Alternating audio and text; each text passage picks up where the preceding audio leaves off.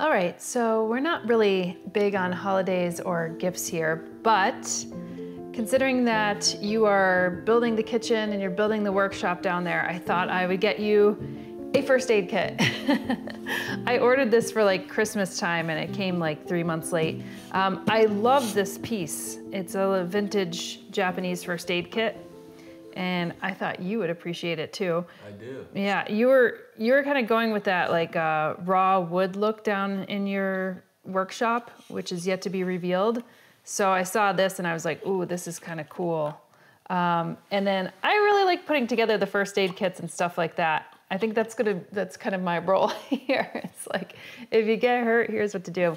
So I filled this up to the brim, and I thought we'd uh, you know kill two birds with one stone, so to speak, and show you all the things in here so you can kind of get a sense of um, what you have here. We were just talking about it this morning. Hopefully you won't have to use anything other than a Band-Aid in here, but if uh, things happen, then uh, you'll be prepared. So let's go through. Um, first of all, Band-Aids are like right here because I do figure that that's probably going to be the thing that you use the most. Um, also right behind the Band-Aids are the isopropyl alcohol thing. So if you like get a cut, you clean it off first, hopefully, um, if you know that. And then uh, lots of other Band-Aids here. And then also there's something called Bleed Stop. So uh, you could use that if like you're really bleeding and it just keeps on gushing. Is that like a wipe? How do you, how does that work? It's a it's a powder. So you Oh, it's a powder. yeah you open it up and then you could put the powder on it and usually that kind of coagulates the blood a bit more. Now, if you are really gouging blood, this is a one-handed tourniquet. So basically you could rip this open and a tourniquet, the whole concept of it is that you wrap something around and you stop the flow of blood. Okay. So, you know, you never know if something like gets, you know, somebody gets penetrated with a sharp object or whatever. One of our friends, Steve, was, he should have had probably one of these. He was, uh, I don't know what he was doing. I guess he was like using his saw in the woods. What was he using? He was using his like, um, he cut himself, remember? With the saw? Oh yeah, he cut himself in the leg. I don't know. yeah. I don't know exactly how it went, but he got a deep cut in his leg. Yeah.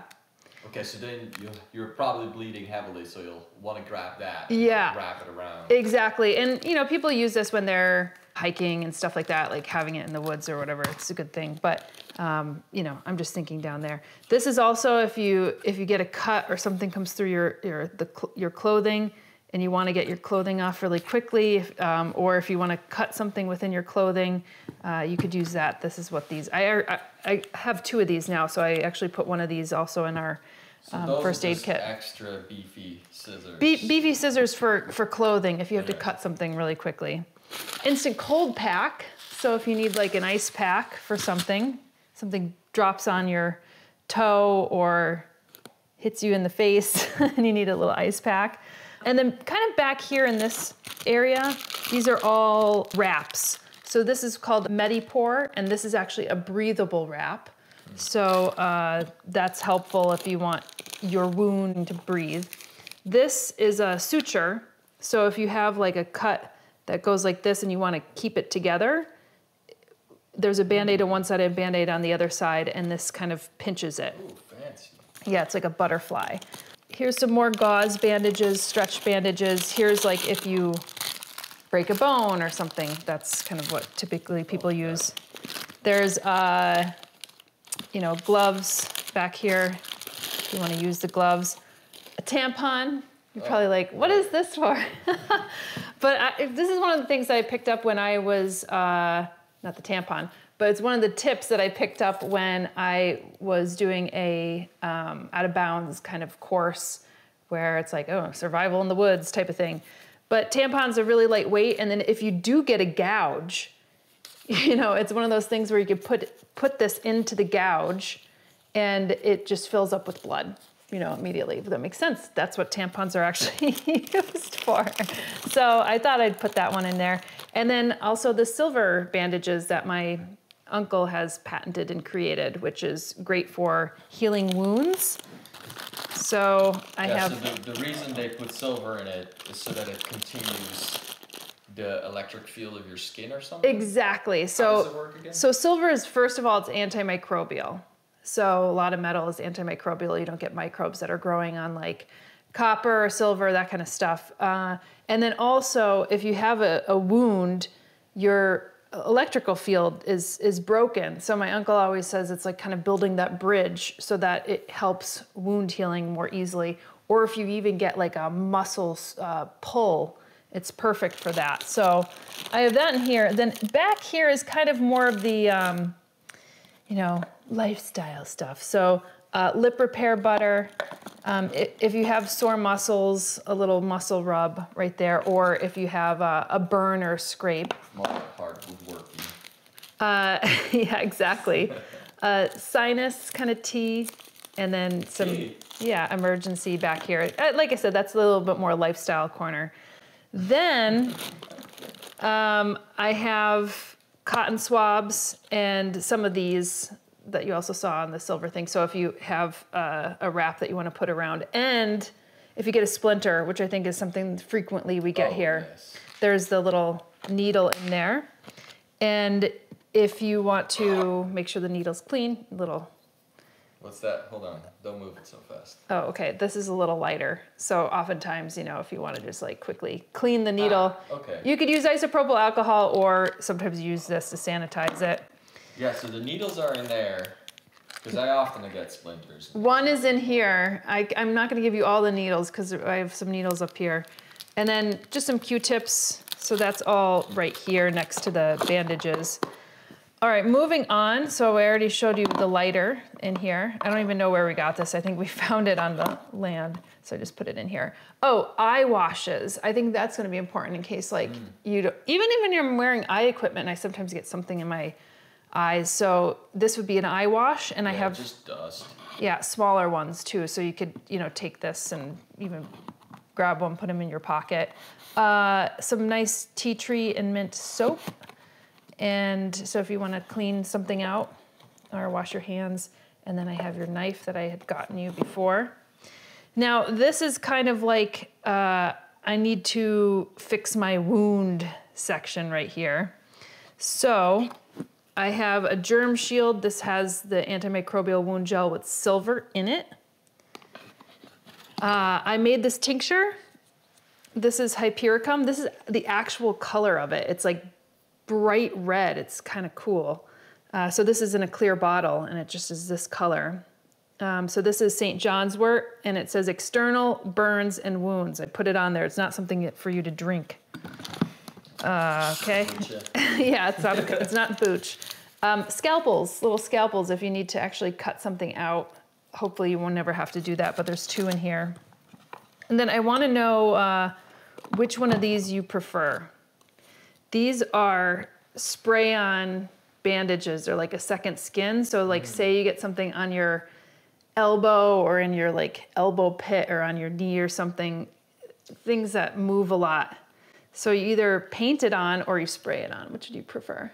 Probably spray. Okay. So that's good for an area if there's uh you can't put a band-aid on. Exactly, exactly. Or like maybe your ear, some, like something weird, you know? Uh, then I got Manuka honey ointment and infection fighter. So if you get a cut and you prefer to use this, I know you prefer the Porter's Oh, Liniment Salve. Smells, smells funky. It smells- good and bad. I know, It it's- smells, I'm not sure. I know. I think we like it. I think we like it because when you open, it has a strong smell. This is a drawing salve. This is a drawing salve that I had growing up as a kid, and all always really liked it. So I've I've grown up with it. I think you I think you actually strangely like it. And then I have um, just hand cream, just because your hands get pretty beat up down there. Uh, I know it's relatively warm in your area, but if you're kind of walking in and out um, and you just have like dry hands. And uh, tweezers. There's other things we could probably fit in here, but uh, I'm gonna take this and put this in the first aid kit up here. But I think this is kind of like the ultimate carpenter's first aid kit right here. this is everything that I think you could think of. I mean, maybe there's something more, but Yeah, I'll have to do some research if there's anything else you should keep in a wood shop. But Yeah. That should get me started. absolutely. This is pretty straightforward how to use it.